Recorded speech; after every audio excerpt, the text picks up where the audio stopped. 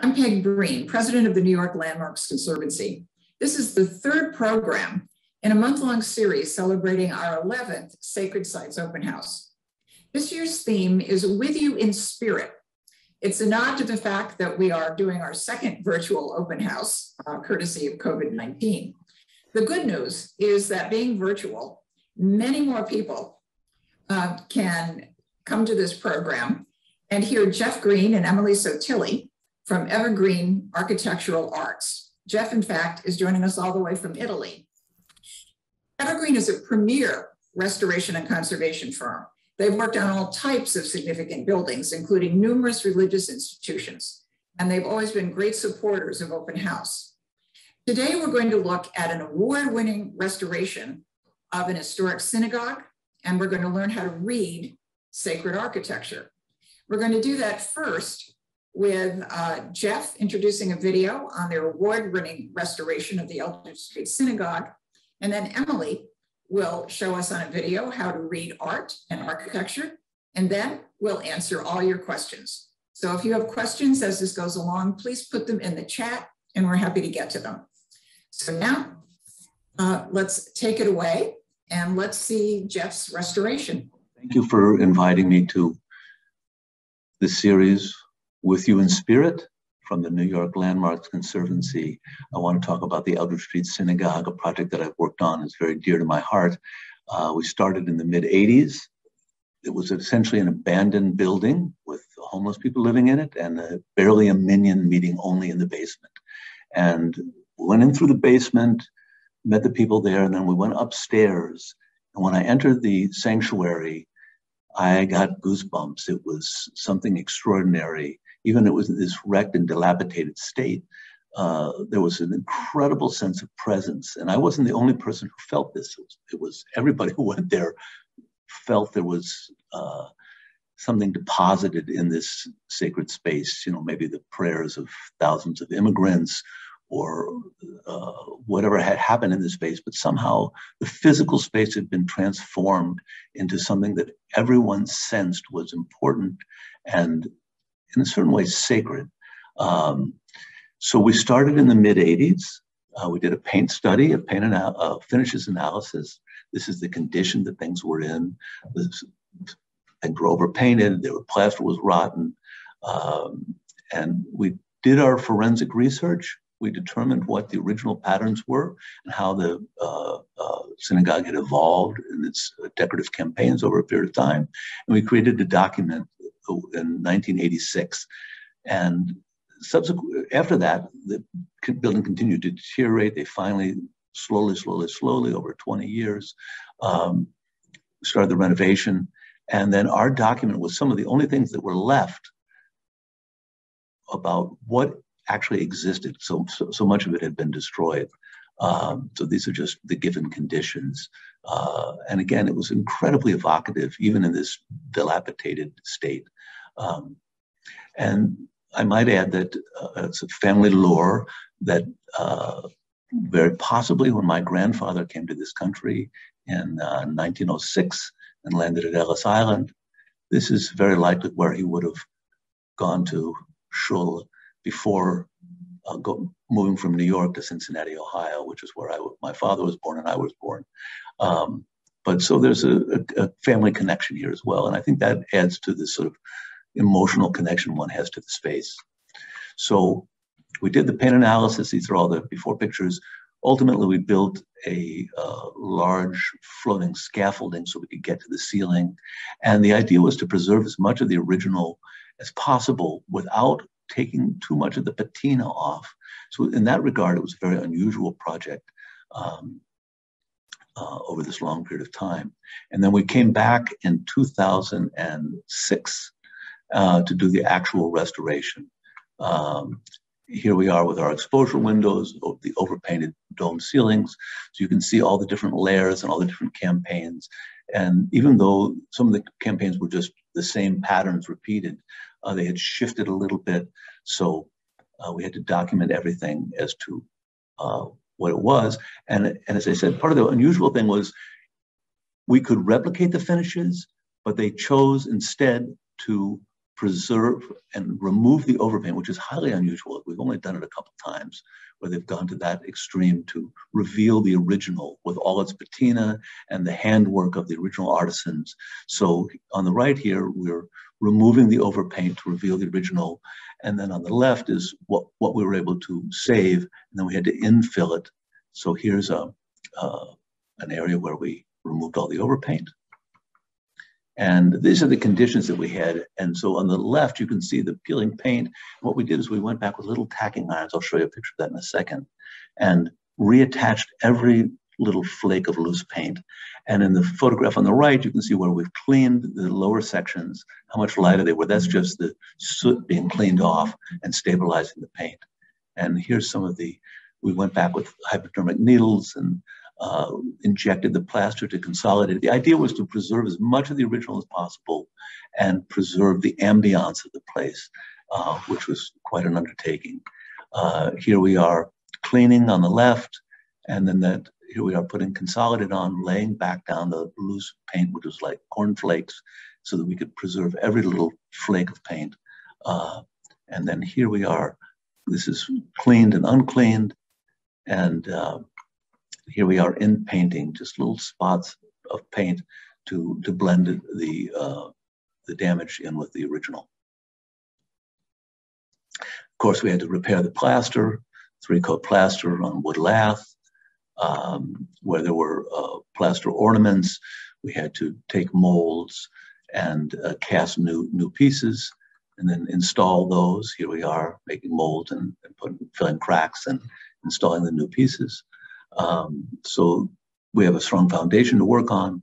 And then we, we, cleaned off, we found all the original marbleizing. We, we were able to take off layers and layers of varnish and overpaint and reveal the originals. So the whole exercise was just to preserve what was original. Um, here we are in painting the sections that we removed the overpaint, and now we're infilling the adjacent sections. Um, regilding the stars on the ceiling, on the original backgrounds. And we also restored the, there were two murals uh, in the, uh, on the Bema wall uh, with the curtain showing the, uh, the Holy of Holies behind the curtain. Uh, these were also restored and wood grained.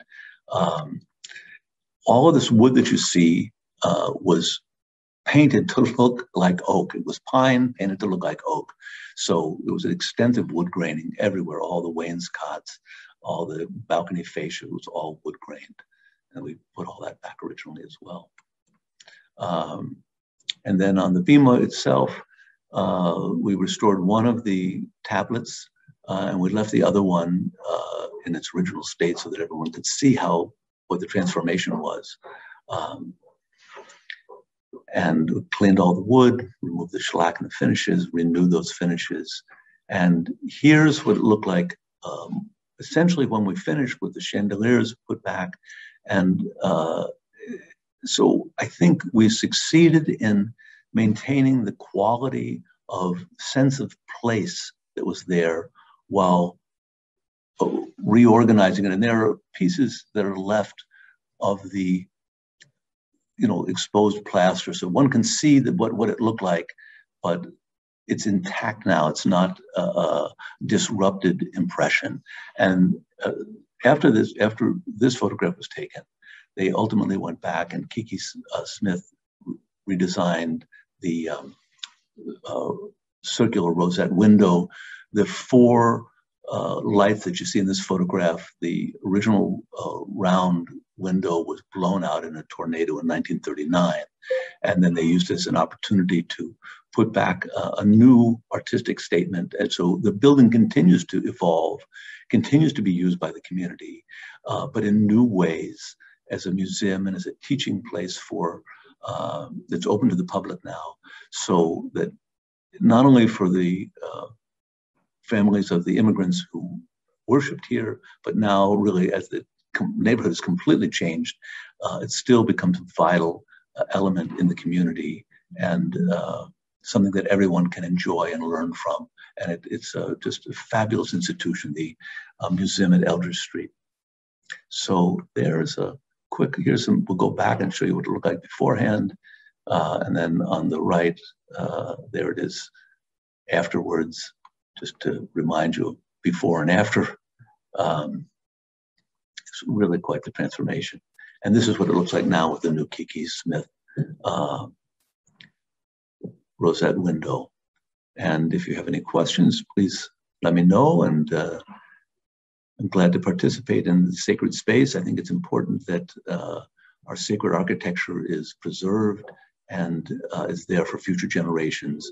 Uh, these sort of living buildings, uh, they tell a story of the past, but they have a place to play in the present as well. Thank you. Hello, welcome to With You in Spirit Reading Sacred Architecture, a part of the New York Landmarks Conservancy's 2021 Sacred Sites program. I'm Emily Sottile, Director of the Sacred Space Studio at EverGreene Architectural Arts. Uh, as you may know, EverGreene works in all different kinds of buildings, uh, state capitals and theaters, uh, iconic commercial buildings. Um, I'm really privileged to get to work specifically in all of our religious projects. Um, and it's always a, a, treat to collaborate with the New York Landmarks Conservancy in their effort to really highlight how these buildings um, of all denominations and faiths really impact our built environment, our communities, and, and all of us.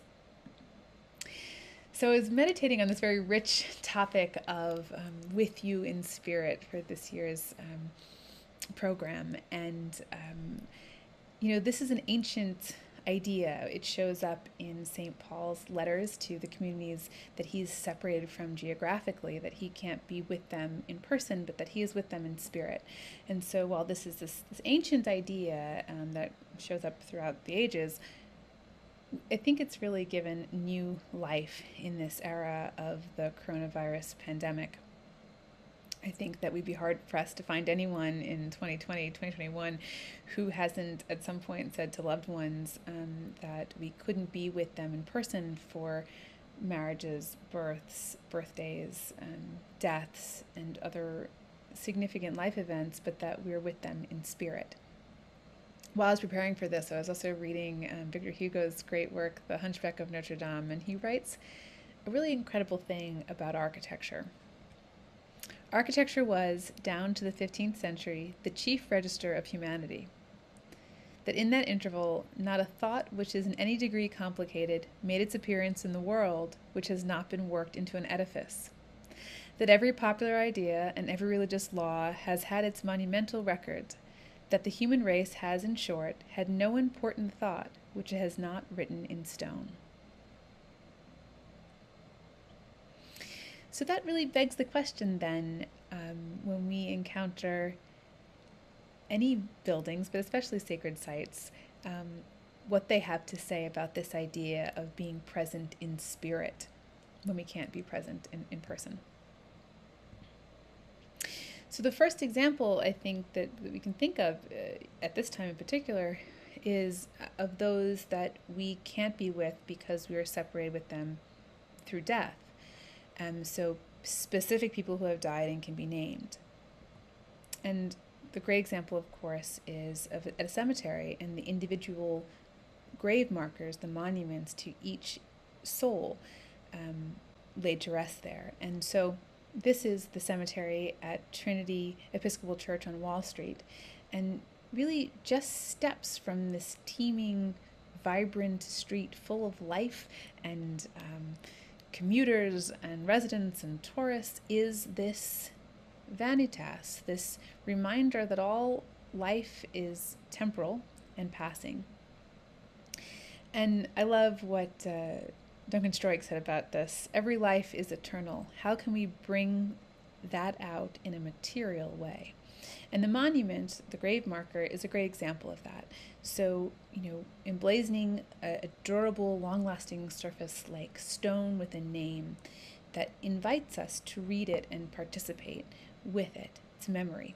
So, you know, for those of us who knew some knew the departed, we may go to um, spend time to at the graveyard to um, bring flowers, to tend to the grave marker, to pray there for the departed um, and maybe even have a conversation um, for those who didn't know or have a personal connection with the departed, um, who may be just walking through the graveyard, they may also interact. They're also invited to read aloud or even in their heads, but often to say, Well, who are you? Um, and piece together these clues of someone hitherto unknown. So the years that they died, the symbols on the markers, the names of those of the markers that surround a gravestone. And so it is really an, an interactive way to be with someone who we cannot be with in, in person.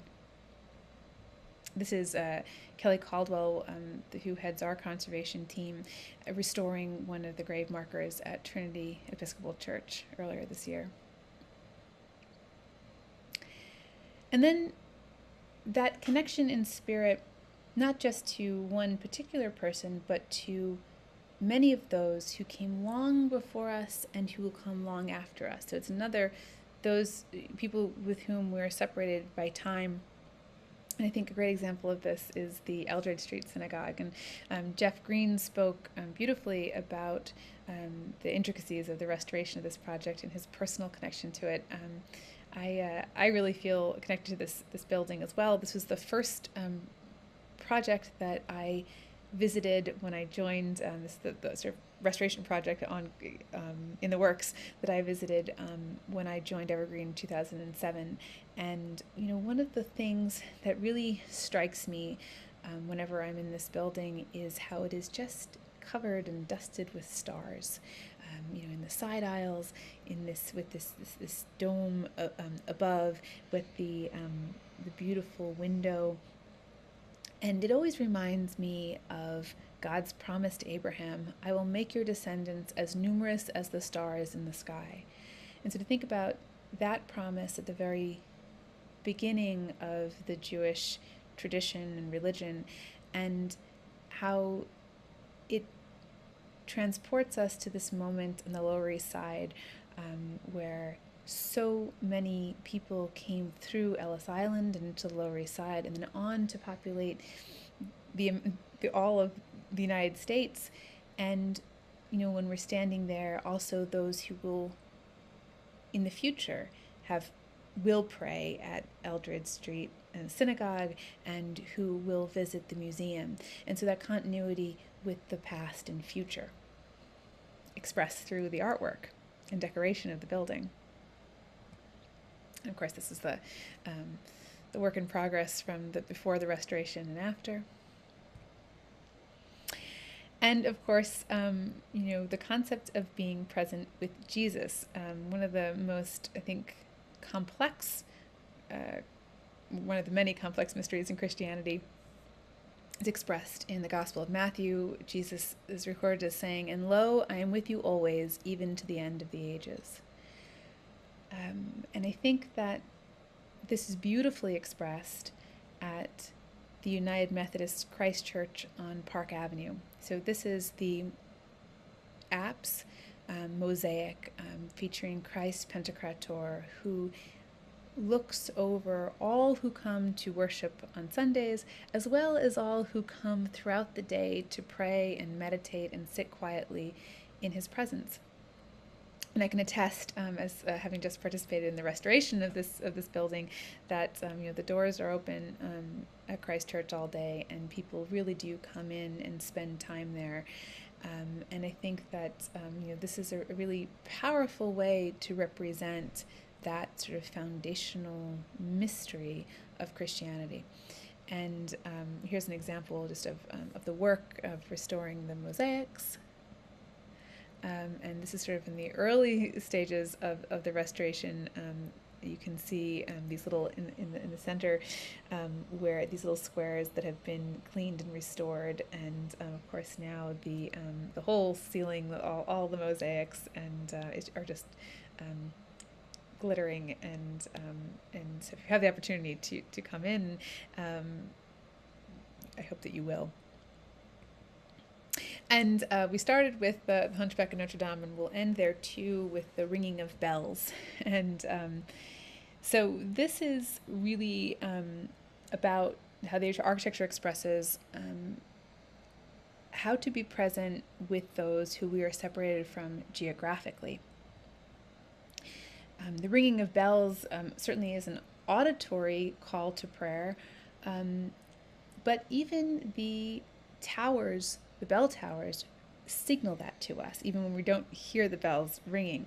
And so, you know, um, we know bells ringing at the time of, of mass and services, um, uh, ringing, you know, for alarm um, and uh, um, for joyous occasions, weddings, um, for you know, for funerals. Um, but we we also um, the, the Angelus, which is rung in Catholic churches three times a day. Um, but the, this tradition really begins in the monastic setting, where um, the Liturgy of the Hours or the Divine Office prayed throughout the day by the religious community who are w- living in the, under the rule of, of um, Saint Benedict um, with the imperative to work and pray, and who gather throughout the day um, in their communities to pray together.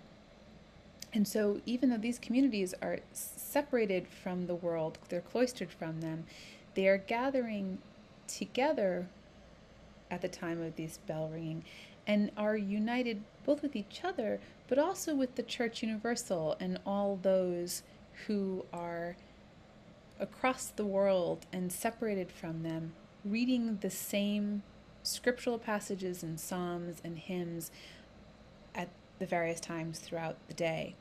And so, you know, this is a two cathedrals in New York, um, St. Joseph's in Brooklyn and St. Patrick's in um, Manhattan, two different styles of architecture.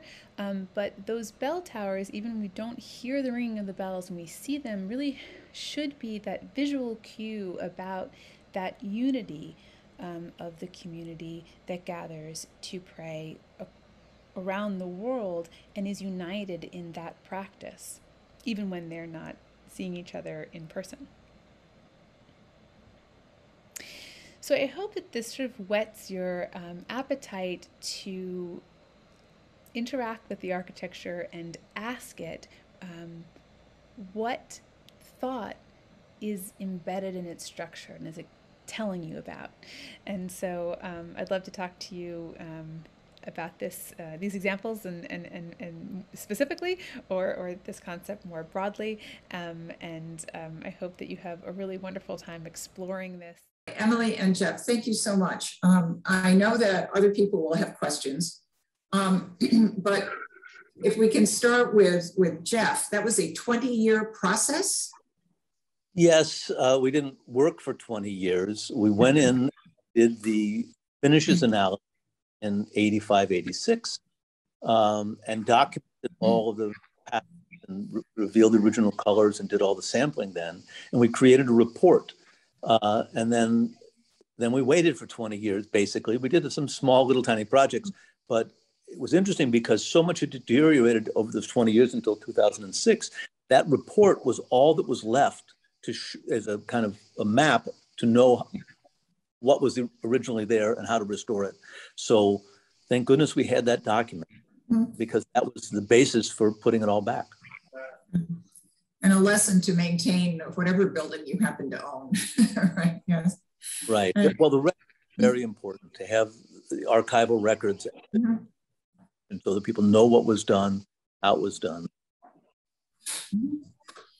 And and then Emily, um, I always think when we're working on a on a church or synagogue, you know, the synagogue has the names of former members uh, and then the churches have, of course, the, the stained glass windows dedicated to people. Um, I often think that everyone assumed that this was going to last, that they were they were building for a longer time, and that in a in a sense, whether you're religious or not, by maintaining the buildings, you're also kind of keeping their faith. You know that the, they would be there, the city would be there, the building would be there. Is um, do you get that sense of time and, and permanence. Yeah, absolutely. And I also think that it's an interesting thing because my work is in the restoration of, of religious buildings. Um, I end up having these kind of uh, philosophical uh, conversations about this with, with strangers. I wouldn't usually probably launch right into that, but when people ask me what I do, um, and, and, I'm always amazed when people say like, you know, well, I don't usually, you know, attend church, but I'll always go into the building whenever I'm traveling. Or, you know, they'll talk to me about how important the church on their street is, even though they don't attend um, services. Mm-hmm. Or, you know, when someone from a different faith rescues a building by in, you know, in um, by uh, funding the, its its preservation, um, and we really do see how um, these buildings um, are about they shape our our, our communities and, and, what they actually look like in that landscape landscape. But also they um, are these repositories. They tell these stories, um, and you know they help. You know what we do and don't do to them tell our story too. The architecture doesn't lie. You know. Just a little anecdote there in Salt Lake City years ago. We could we uh, restored the Cathedral of the Madeleine, a Catholic church in a Mormon city, and everyone felt the importance of that building as part of the fabric, the character, the individuality of the city, and so they mm-hmm. all shipped. It wasn't just the Catholics who restored it; it was the Mormons who who supported that as well. So I thought that was a very important uh, testimony to what Emily was just talking about.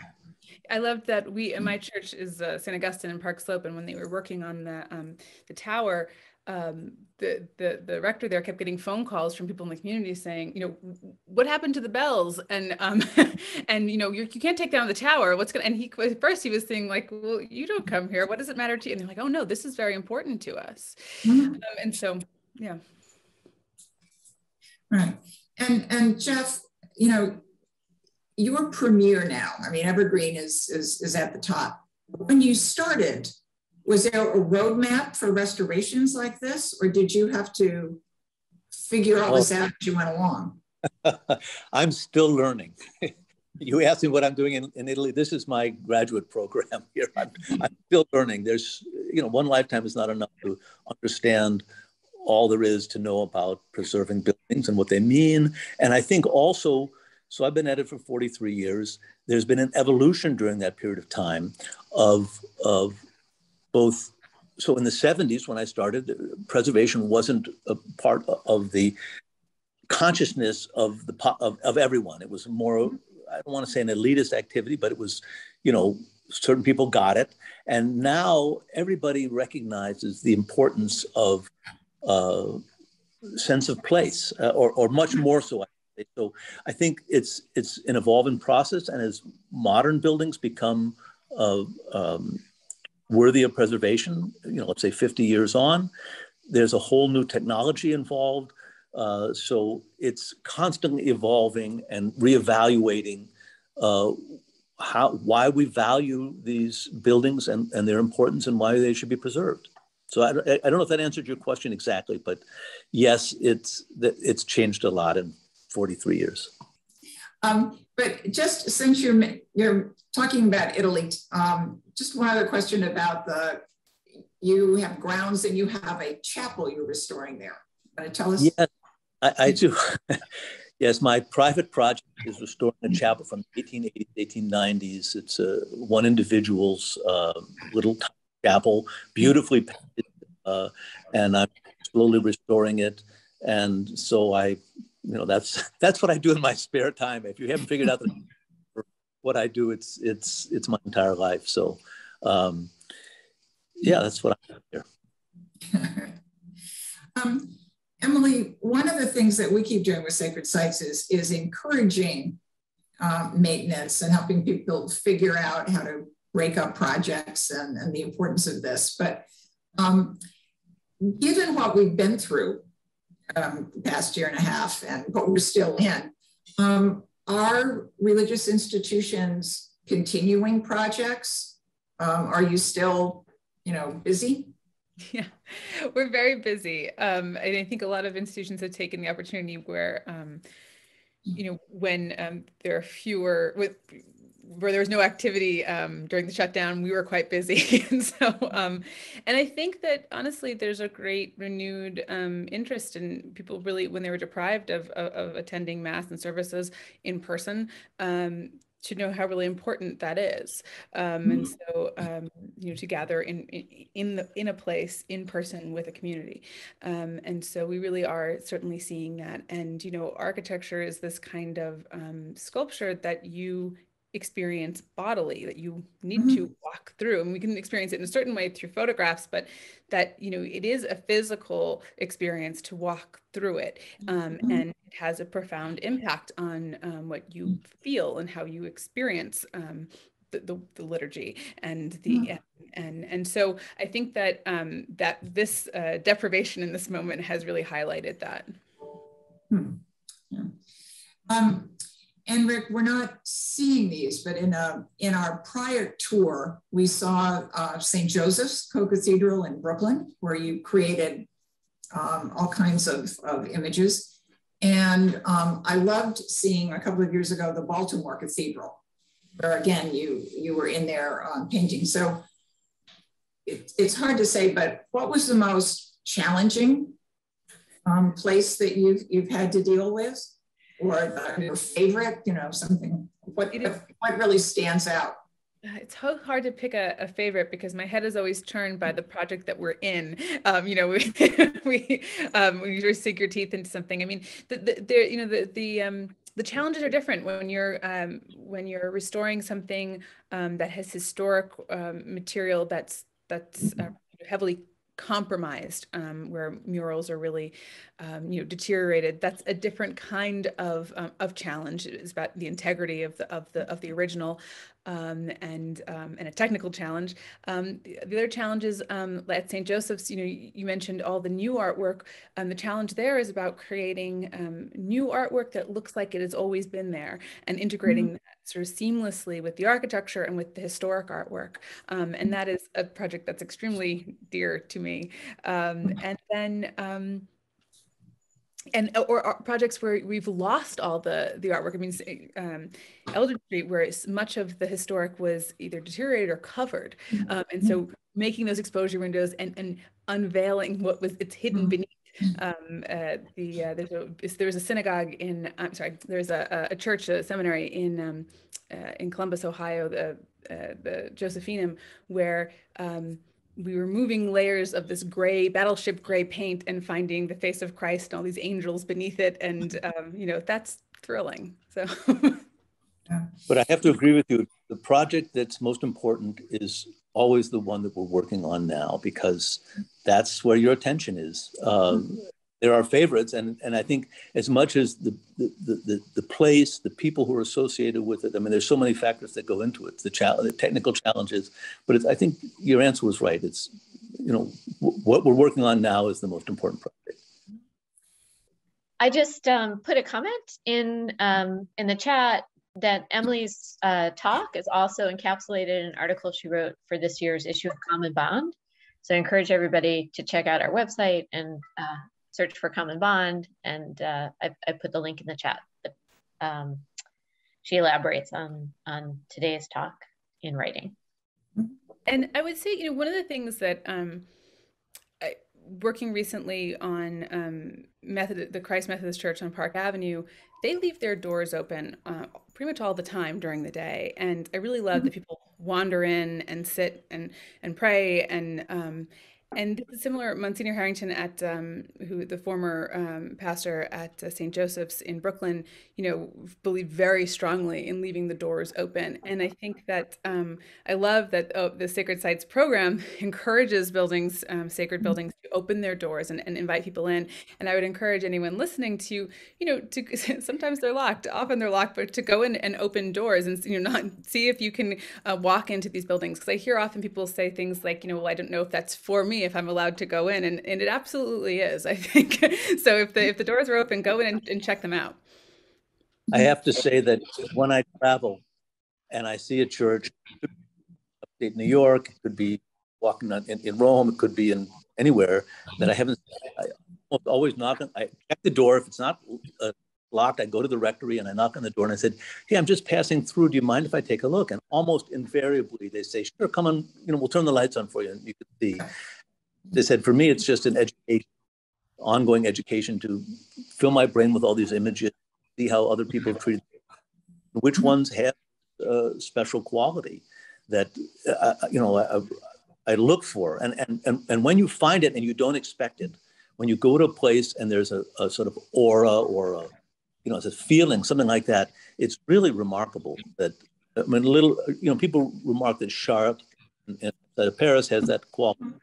Um, I've seen it in other uh, temples and, and tombs. The, the tomb of Naqshbandi outside of Bukhara in Uzbekistan mm. certainly has an amazing presence. And, mm. you know, those are experiences which come from someplace else. So mm-hmm. that is what's embedded in the stone. That is the spirit of the place.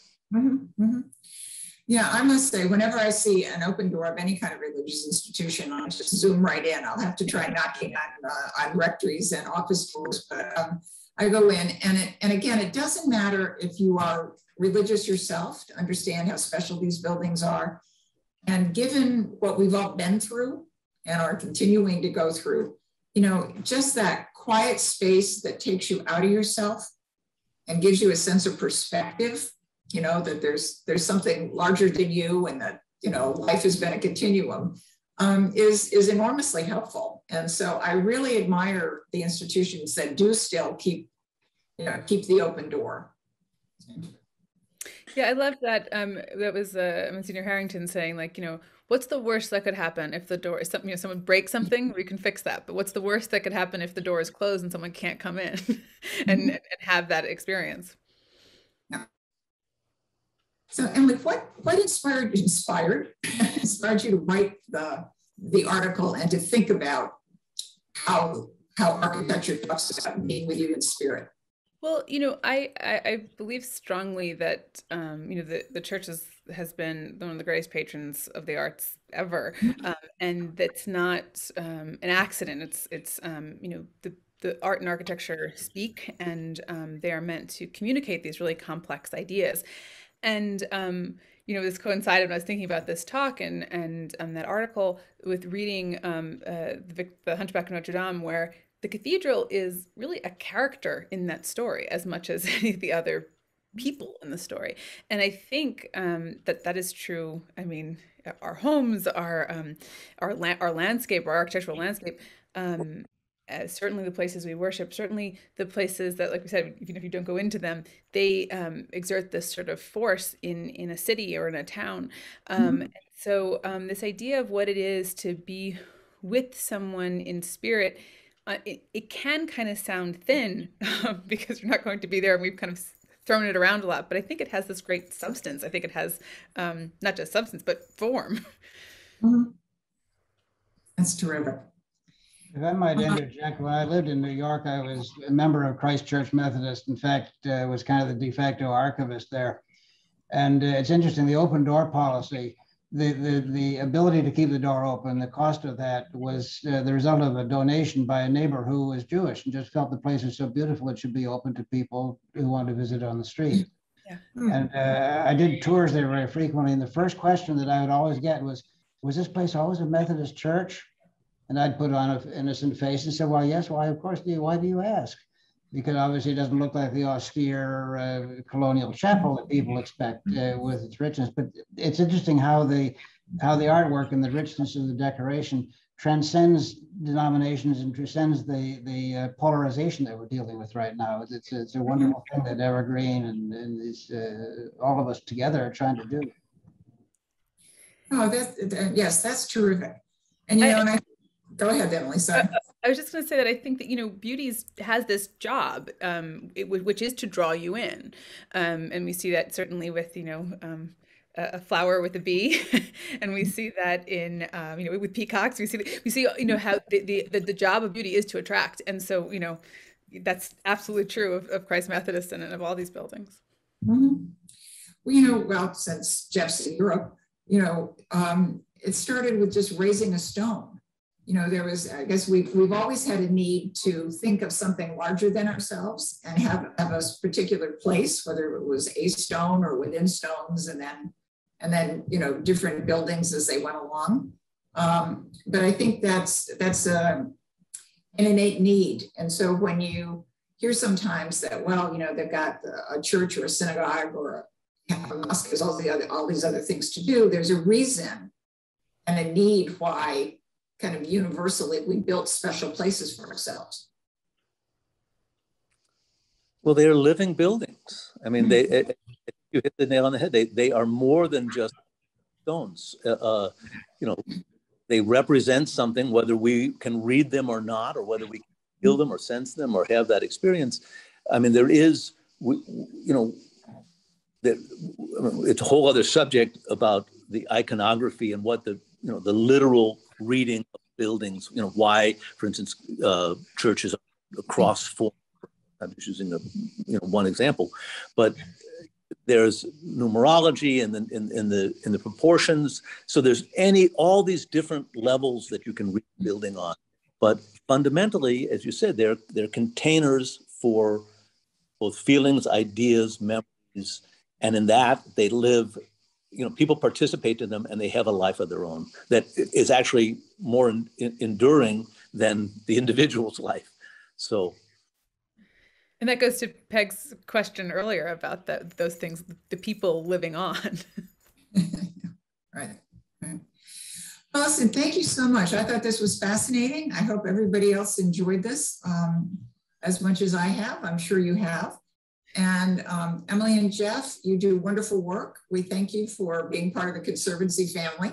And obviously, remarking on what you said earlier, Emily, I hope that next year we're all able to walk around again and actually experience um, all these wonderful buildings um, in person.